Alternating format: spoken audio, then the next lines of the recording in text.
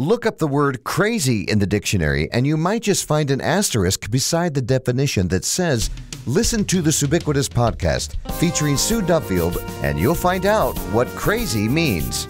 Sue's travelogue journey of unfiltered stories, impossible miracles, and faith filled fun will be revisited right here. So buckle up and let's get going with this humorous travelogue of an unfiltered saint, Subiquitous.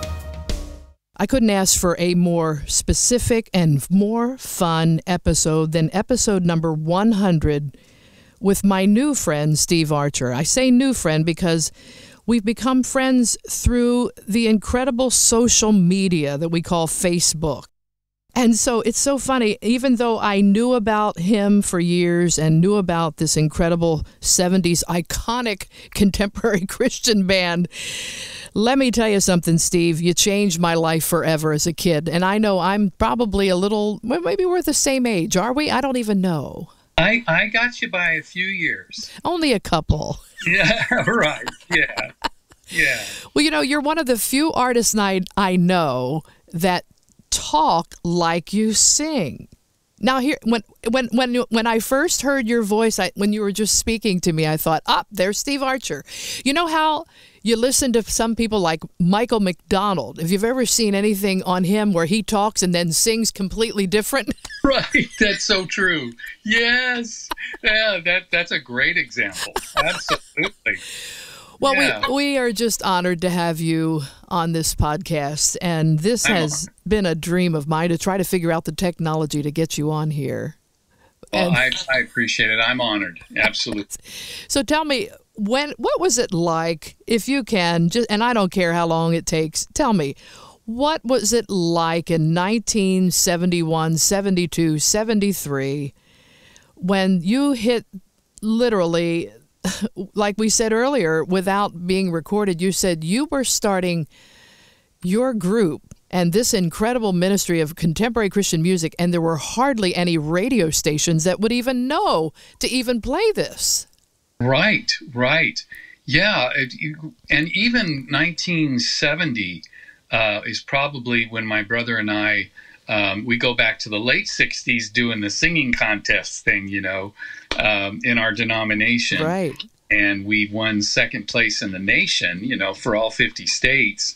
And that was very inspirational to us because even though, you know, I'm in high school at the time and Tim is just finishing high school, uh, we loved sing- singing together as brothers, and uh, you know, it just it was something that encouraged us. And in 1970, 71, right around there, uh, is when we met some people that were very influential in our lives. One of them being Pat Boone, mm-hmm. who came to a concert and took us under his wing and we spent a lot of time with him and and mentoring from him and then the first person to ever take us into a recording studio, Andrae Crouch. Wow. You know, and that was just for two songs. It was just for a, a 45, you know.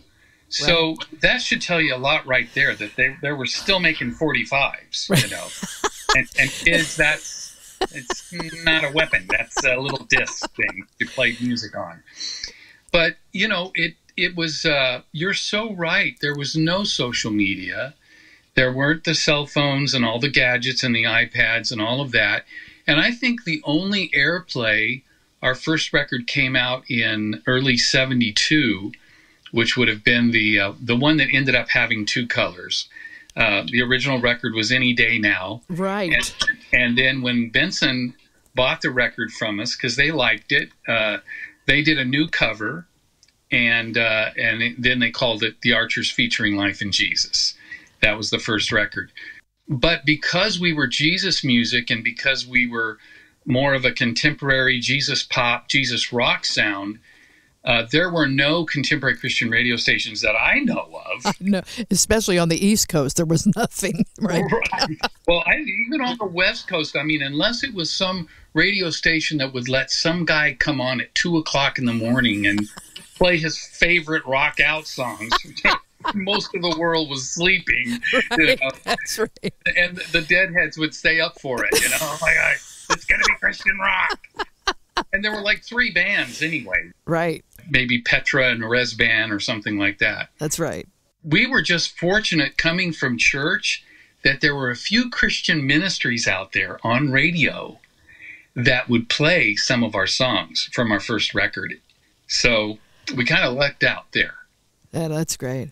And so Andrae took it on. He gave you pretty much, um, was that around the same time that Ralph Carmichael was involved with any of that with Light Records too? No, no. No, the okay. only thing we knew about Ralph Carmichael uh, at that time was we had sung a couple of his songs in church, Right. like Quiet Place Oh, or Pass It On, you know, and with the youth group and so on and so forth, because we were, our dad was nice enough to let us jam out in church for the youth group Right.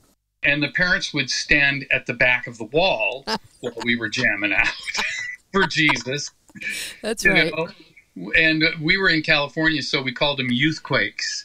Oh, I love it. Our youth group was really growing because of that. Mm-hmm. And that's what was important to our precious mom and dad, who were in the ministry for over Right. 50 years. And God bless them, they've passed on now. But what was important to them is not that if we grew our hair out or if we were jamming on the drums and bass and electric guitar and all of that and you know singing that like those early songs like put on jesus let your light shine walk in the that you know Yeah. just getting into it um, and you have to imagine it with a, a drummer and the kids loved it but what was important to them older people that would come to well i don't know pastor lee you know what that's a Exactly. little, that's a little too much right there, you know. That's right. And by the way, we grew up on Bill Gaither, so That's right.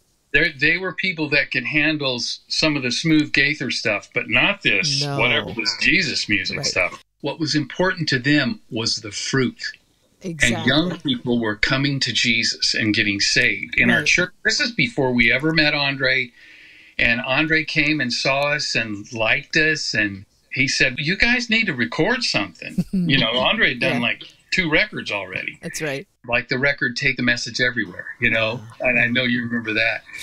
And we were like, "Well, yeah, we agree." You know, we were teenagers, and that would be great. How do you do that?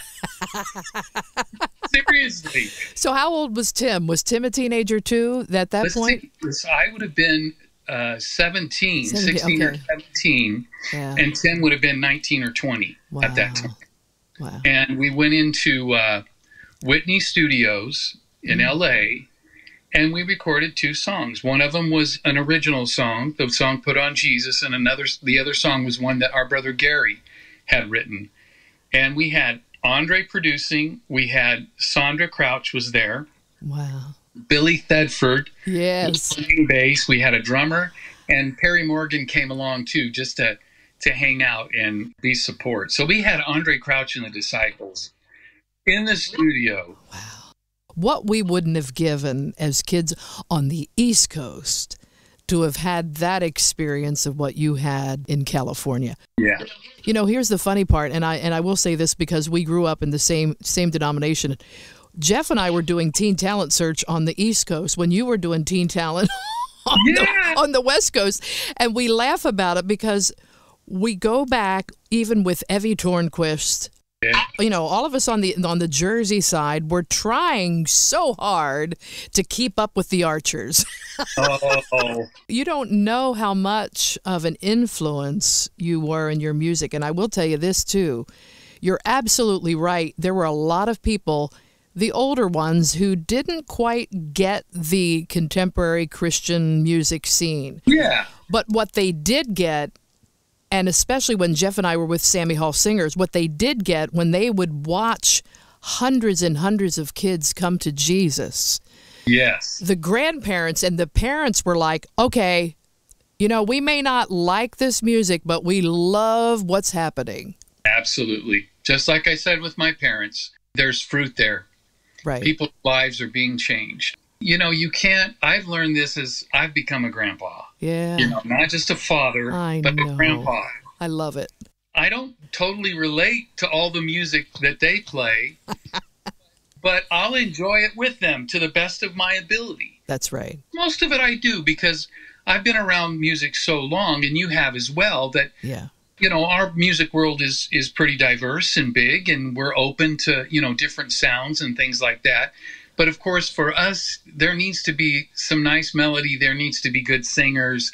Right. So some of the things that that they might listen to that's a little bit edgier or you know has mostly just beat and monotone you know melodies what i'm saying is that i understand more now that they don't expect me to like their music and be right there with them i'm from a different era but guess what they like Mm. they like all the crooner stuff See, that i raise my kids on. I love it. I they love it. sing it they know the songs Yeah. And you know what that is? I think that's because of, of dad being such a musician yourself that it's just like my parents did the same thing. They exposed both Jeff and myself to everything. yes And that we decided that we loved music.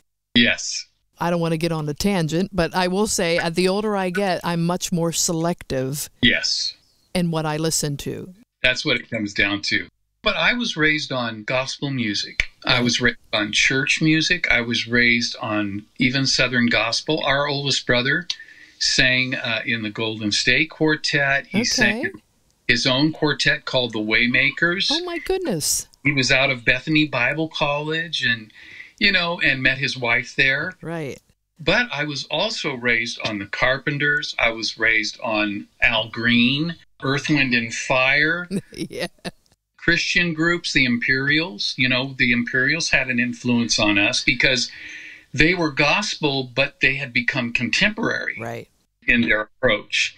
So there's quite a variety there. Right. A lot of pop artists that I listen to. I've just always, and maybe you feel this way as well, I've just always loved great singers. Doing rock or Oh, pop yeah. or soul, great singers. great singers and that's exactly what you gave us in your music was especially you steve honestly you did a couple solo projects correct i think you did Yeah. yeah and you know we would often say usually when a singer in that's in a group and then they break off and maybe do a solo project it's like ah. But you know what? There's always been that expertise of singing that you have had. I'll just go back a few years ago. You were in town. You were in nashville in Franklin for a CCM night. It was one of the worst, horrific storms. I don't know if you remember this or not, but this it was raining, it was awful. Yes, I remember. It was so cool because you were there, Tim was there, Janice was there. Yeah. It's more than just the connection of the music, and I know the music is is, is so deeply in, embedded in us, but you can sense the anointing of God and I don't care what you've been through, you've probably been through a lot of stuff, but it still translates from the stage. How does that translate in your life? You know, I think it's the influence of my parents. Their relationships were real. Hmm. They may have even struggled in their own lives. My parents come out of Oklahoma, born and raised. They got married, and my dad had already visited relatives out in California and fell in love with it. Wow. The mountains, because of the ocean, you don't have that in Oklahoma. and so he was like, my mom's name was Neoma, but he, her nickname was Peggy. Wow. Everyone always knew my mom as Peggy.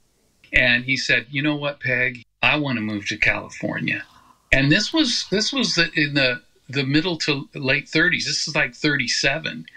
And things weren't so great in Oklahoma. Nor up north, you had the Dust Bowl, and then you also had the stock market crash and all that stuff going on, and people were were out of work, and they grew up in uh, as farmers.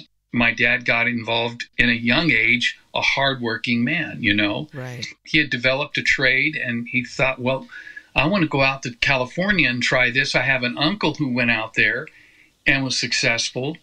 And while they were out there in California, you know, having two boys, Gary and Ron, my dad gets introduced to the Lord through a neighbor who keeps bugging him about coming to church. I love that. and it's one of those things, you know, the good earth people that are just good, down to earth people I hear you. I hear you. sometimes they're kind of in that mode that you know, that religious thing is okay and everything, but I'm doing all right. You know, I'm just working hard, living. My dad was a little prideful about that, but this person did not give up. And so I think my dad and mom, not so much my mom, my mom's a sweetheart. She's an absolute right. angel. But the guy was persistent, and I think my dad went to church just to get the guy. Just to get the guy off his back, right? and heard about Jesus. And man, my dad had been through some stuff as a kid and he got hit. Wow. I mean, he got a wave, a tidal wave over him about Jesus. And I mean, he went from that to being saved.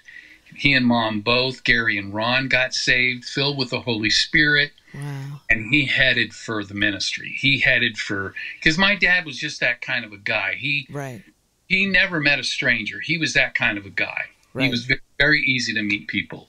So as we're growing up, Tim and I, you could tell when my parents got saved because my two older brothers are Gary Lee and Ronald Anthony. Then my parents get saved, and it's Stephen Mark and Timothy James.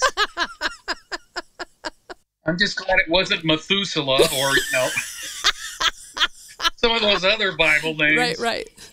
Zephaniah or something. You can tell. I mean, right away they're like picking out Bible names. That's oh my. And uh, we always is... say they, they, backslid with Janice. I don't think there's a, a Janice in the Bible. I don't, I don't know. Oh, that's but my funny. mom, my mom always loved that name, and they were done. They with four boys, they were done, and yeah. they got a surprise. They and got that's the surprise. Was Janice, and boy, did my mom love that. And what a surprise she was. When did I know she was just a teenager, right? With Fresh Surrender. Had she had she recorded before that with you at all? No. She was 17 then.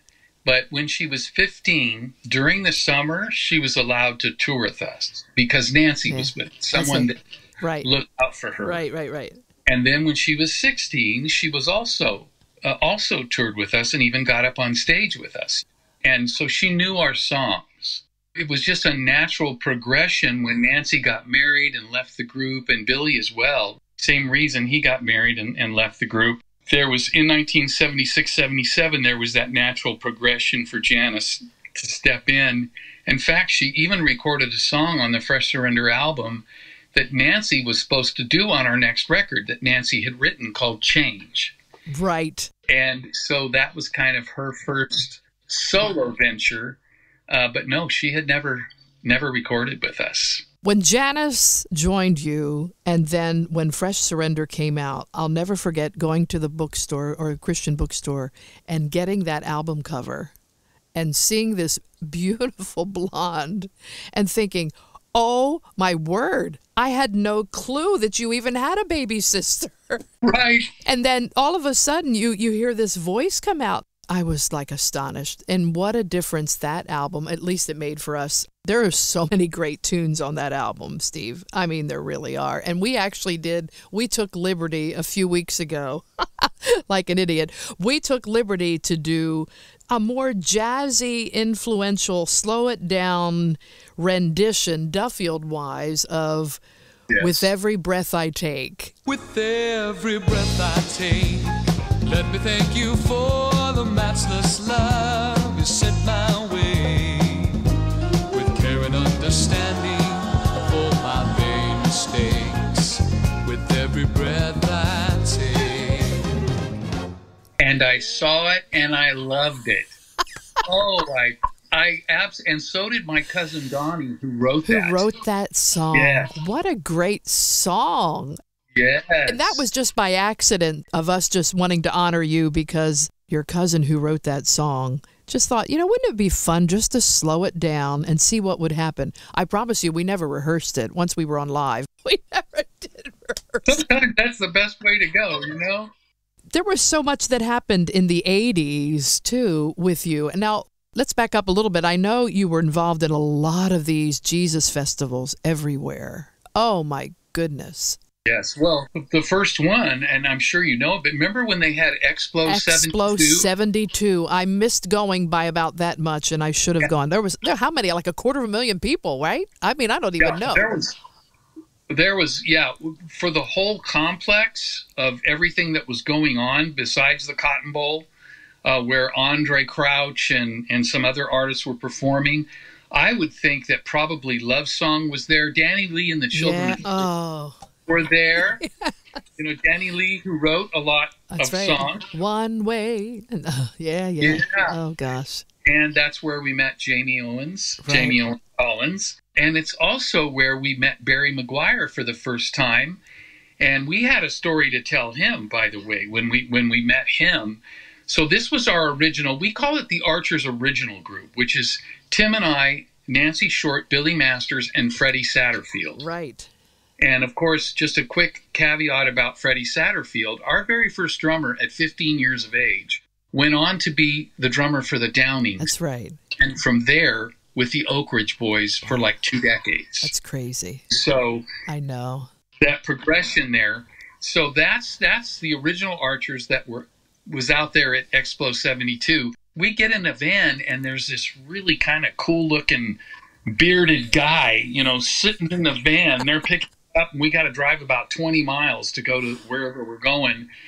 And the guy goes, "Hey guys, this is Barry McGuire, you know, and we're like, "Hi," and we're like, we even knew Barry from the rock and roll because we, right. we were aware. We we always tried to stay aware of our music surroundings. We weren't I know. the fishbowl of No, church music. right. We were listening to rock and pop and all of Right. that as well, and that influenced. That's that influences you. You just don't let the lyrics and the spirit of it influence you because your heart is for Christ. You know, your your message is, wow, what an awesome way to be able to say, uh, share Jesus Right. and see these kids respond. Yep. And oh, we loved him right away. I mean, he was just the most wonderful, jovial, you know, cosmic cowboy guy, you know? Oh, Oh God, my. just what an amazing presence Yeah. that guy had. And that's that was the ap- atmosphere around the whole Explo 72. Right. So I think we maybe just only did that one festival that year. We were we were brand new. I don't I don't think our record had come out yet.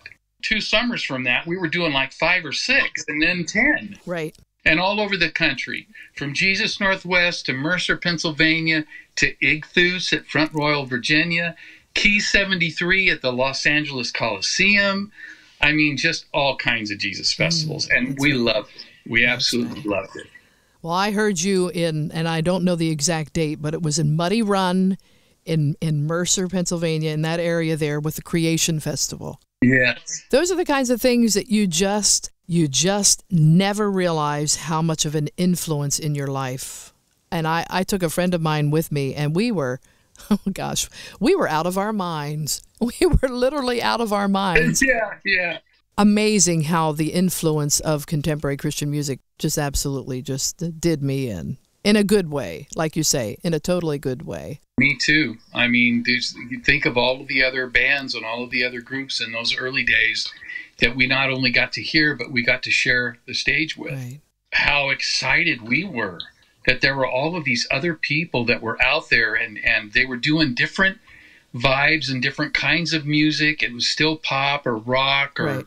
soul or whatever. I mean, Andrae Crouch, I mean, my goodness. I know. The first time we were able to, to tour and go open for him, Oh man. oh my goodness, you know, we were just on cloud nine Yeah, all the time. We would come out and open and go, well, they're going to forget this real quick, you know. Once Andrae comes in. What was that group that opened Andrae? I can't, re- you know. You sell yourself short because I still think when it came to harmony, even with Nancy, it was fabulous. But Oh, there was something about the family harmony, though. I don't know what oh. I don't know what it was, but yeah. yeah. it just is just so great. So you have been in our neck of the woods recently, and you have been in Nashville recently. Yeah. Tell us what's going on with this whole new project. we wanted to do, and, and thanks to my brother Tim and his wife Cynthia, they wanted to do uh, kind of a statement concert, get the group, because we had not been touring and doing a lot of concerts together for, oh, at least a decade. Right. And doing solo stuff, but then we were also doing group stuff in the late 80s. And, and in 1992, we released an album called Colors of Your Love through Reunion Records and I love that record. You know, I, that was mm-hmm. fun making that record. but we hadn't been touring a lot. So we didn't feel like we were really on it and really fresh and Yeah. but we did some rehearsing and, and Tim and Cynthia did all the work to set it up at a little theater there in Franklin, Tennessee, where they were living at the time. And just got the greatest people involved. The most wonderful Tim Akers, Mm. God rest him. Oh, it just Wonderful, precious Tim Akers, incredibly talented man, right. and some of the best musicians and singers ever. in Nashville. Oh, there's no and doubt. that are not just known in Nashville, but they're known all over. right. You know, That's right. what we did is we kind of did a, a vote online. If we're in concert, what songs would you like to hear? Oh man. Out of 200 and some songs, we had to pick about 13 because we had some friends on the concert with us. So we weren't going to be able to do an hour and a half. We could maybe do 45 minutes to an Right. hour because we had Farrell and Farrell, That's right. Cheryl Keggy, Gary Chapman, Evie was there. Evie Tornquist was there. You know who was in the audience that night? He didn't sing, but it was David Meece was there that night. Yes. Sitting, we were sitting right next to him. Yes, David Meece. The young lady from Australia was there too. Jessica St. James Jessica St. was James. there. She couldn't stay the whole time, but but she had come by, and and there were some record producers there, and some industry people were there. Rebecca St. James. I'm sorry, Rebecca. Rebecca. That's right. Rebecca St. James. That's right. Yeah, Yeah. she was there, and of course her brothers are um Oh, I know. well, the great group For King and Country. for King and Country. Yep. But it was just one of those things. So we we came up with the people that liked our music picked as their top like 10 or 13 songs. We got the band together. We rehearsed as best we could and the weather hit and we were just hoping there were going to be people there. And we we knew there was going to be a pretty good crowd because we had some advance you know Oh, sales yeah, on tickets. and then we just got up and sang our hearts out. It was unbelievable. and hoped that we were too off. and we remembered most of the lyrics. And you did. You did. You didn't even have any flashcards. You know, this thing would already be out there, but this was the fall right before. COVID. So that took two years out of our uh, wind out of our sails. And uh, and also uh, my my brother had to have uh, some surgery Yes. um, there's there's some wonder wonderful testimonials through this time of waiting and waiting right. but we finally got to do it and so we've kind of we had to wait a while to get into post production because you know how it is even though it's a live concert and you have a wonderful time and it's so much fun and these classic songs there's still some things to fix Right. That's right. So we're in that process and we are we're almost done. We've got another session coming up in a couple of months in Nashville. And if you guys are ever around there, let us know because if we're in town at the same time, Oh, I would love it. That would be even if we were just a fly on the wall in the studio. We'd. we had some wonderful friends come by when we were there Yeah. in February. Oh, Reba Rambo came. that's awesome. Uh, it was That's so good to awesome. see her. But I would say we're we're shooting for the fall of Okay. this year to get it out there. And what will it be called? It will be the Archers. You know, our first live album was called Celebrate Live. Right. We did that out at Melodyland Center back in 1980. Oh my. This one is, uh, I, I don't know the exact title because we're st- still kind of in that mode. Once we start mixing and mastering, and we'll get down to the, the absolute title.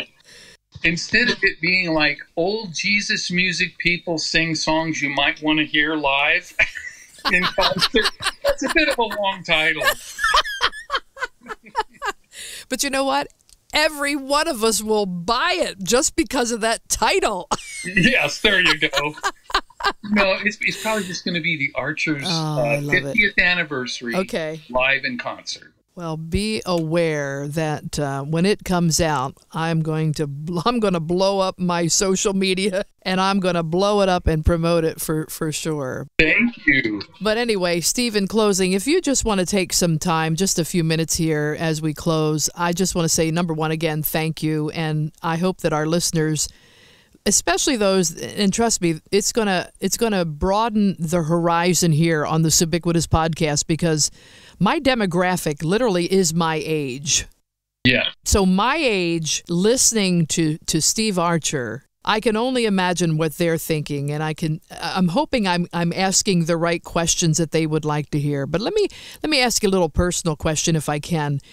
What were some of the hurdles that you had to overcome by being I would call literally you're you were so instrumental in introducing the world along with Andrae and along with Randy Stonehill and along with Love Song. I mean, you really were right in the middle of all of that.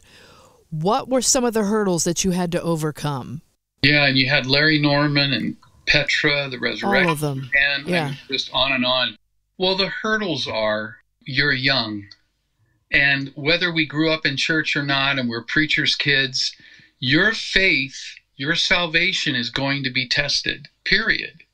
But when you get out and you're on kind of a platform and you're on a stage and you want people to see Jesus in what you do, but people also see you.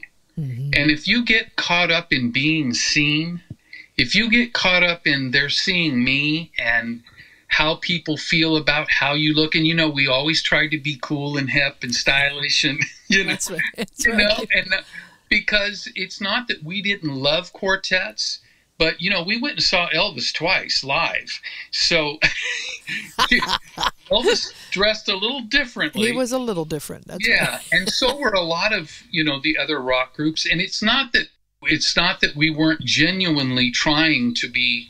We wanted to look like something young people would look at and go, "Hey, that's cool." Right. I want to check Right. that out because Right. they see your album cover first.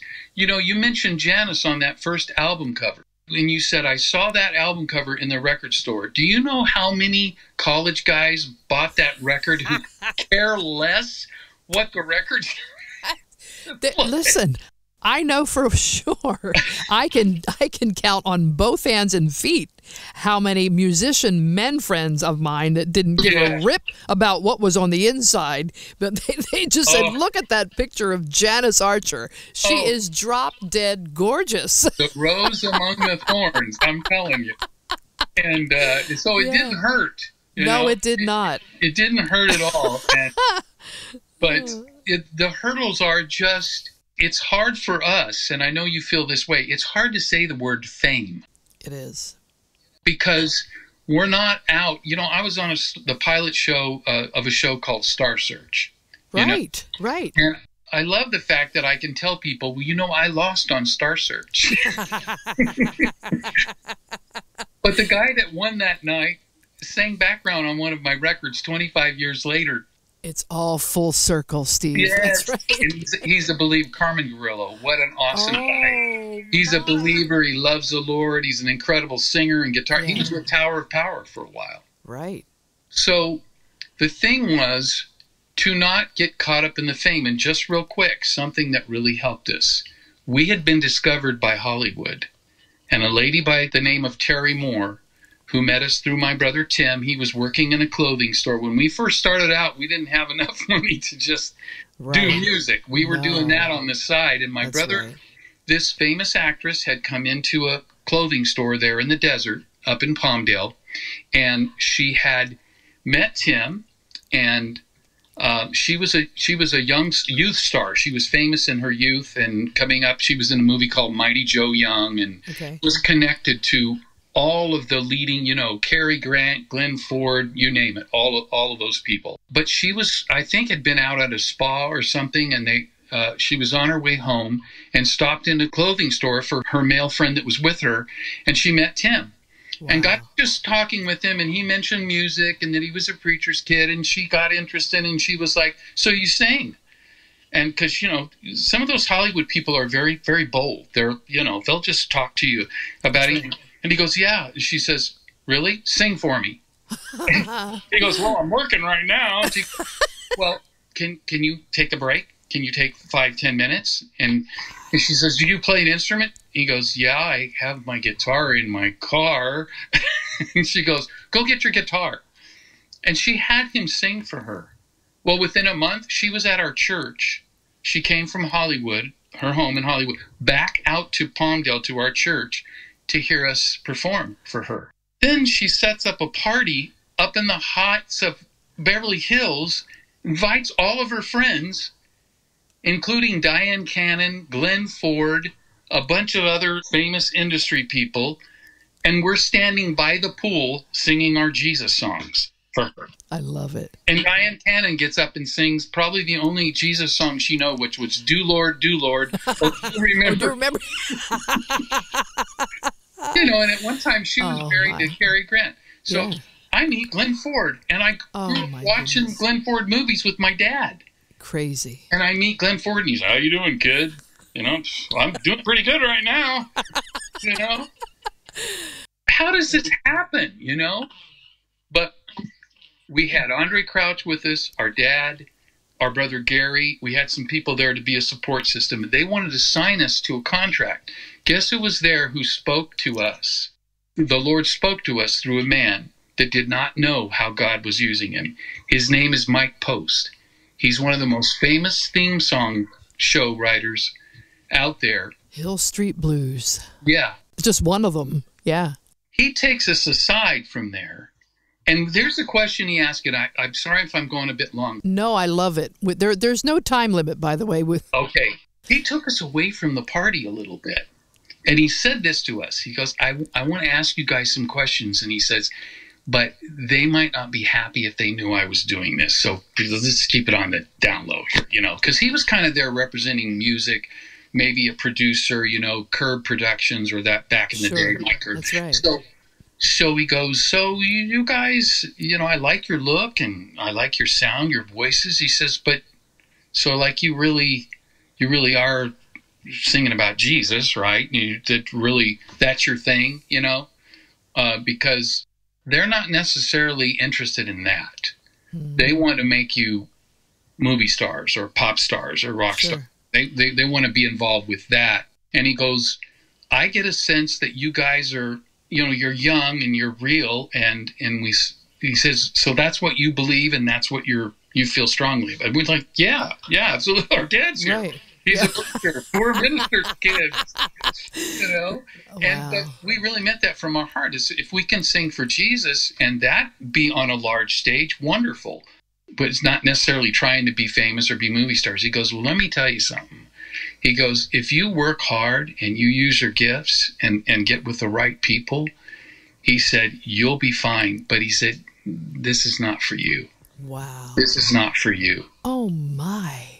And you kind of had to take it that he that he had a heart and he wasn't just trying to you know get rid of us Right. that he really sensed something and god had said these are mine and they need a little help here Right. and not get drawn into this hollywood thing wow. and we did not even go into the meeting with the with terry moore and the we didn't even go in there we stood outside they went in they came out and they said well we'll talk to you all later and we drove away from there and it was like all of us there was a, just a full consensus that we're going to be fine and andrae andrae was like you guys are going to make records about jesus you don't Right. you don't need Wow. the, the hollywood thing 10 years later from that it was 1971 10 years later we were on the grammy awards singing about jesus See that? That's what I'm saying. God orders our starts and our stops, Steve. I like that You know, even in in your life, and even though we weren't connected necessarily, but I have to say that God opened the doors, as it says, Revelation three seven eight. He opens doors that no man can lock, but he also locks doors that no man can open. right And who would know that Mike Post, God used him instrumentally Yes. in your life? Mm-hmm. I mean, I don't even know what his spiritual background would be, but he was looking out for you. What a oh, what a great story! What a great story! you know he's got to be a, a, good guy and a really gifted guy Yeah. because of the incredible That's success that, that he's had in his life but you said hurdles and what it is is if you're running a race and you're doing doing the hurdles but that's not how you train that's where you need god to lift you at those times over those mm-hmm. and you know what sometimes even the guys that train trip That's on right. the hurdles That's right. and so, because we weren't trained, we definitely tripped on some hurdles. Right. you know later in our lives we went through things where we were we were disillusioned or we we really our faith had to be tested that are you really in this for the lord or are you in it for fame and money Sure. That's right. you know and also when you're a pioneer you're smoothing a path or you're you're cutting a path for people to come along and i got to say we we got a text the other day from the guys from new song Oh man. and they were just sending us a text to tell us, you know, Eddie Carswell went to this church back in the day and saw the Archers, and he had, was a new That's right. Christian and got all inspired. And now you have New Song and you have Winter Jam, and and in the text it said we had twenty seven thousand kids give their heart to Jesus this winter, and you guys are a part of that. See that? My brother Tim and I were like, I'm getting goosebumps right now. I know, me too. Texting back, you just made our year. Yeah, that's right. I mean, that's what you, that's what it's all about. That's right. You know, Yep. it's wonderful. to See what God does.